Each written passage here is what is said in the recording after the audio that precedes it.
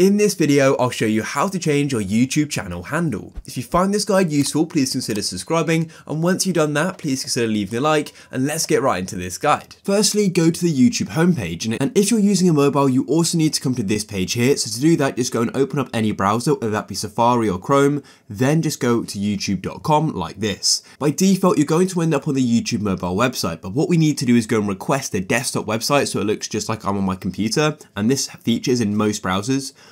All you need to do is tap on three dots if you're in Chrome or if you're on um, an Apple device, go and tap on the two A's in the bottom left and then tap on request desktop website. Tap on the three dots in the bottom right and then scroll down this page here and as you can see there's the option for the desktop site and then your YouTube is going to look exactly how it will on a computer. You may need to go and zoom in and pinch to go and use the same features. Then what you need to do is go to the top right and go and tap on your profile picture like so and then go to your YouTube studio just like this. Then once you're in your YouTube studio all you need to do is go over to the left hand side and go and tap on customization just here like this.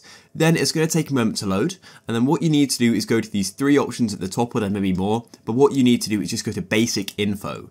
Then as you can see the second option here is for our handle. It says choose your unique handle by adding letters and numbers. You can change your handle back within 14 days and they can only be changed twice every 14 days. So make sure you choose a handle that you're happy with. So in this case I might try and remove these numbers however they, that may not be available as you can see so I might try that there and that works then what you need to do is make sure you go and tap publish in the top right if you're happy with it, just like so, and it's going to go and take a moment to save, and then it'll go and say changes published, and we can click go to channel, and as you can see in the URL, it's now updated, it says tutorial example 123.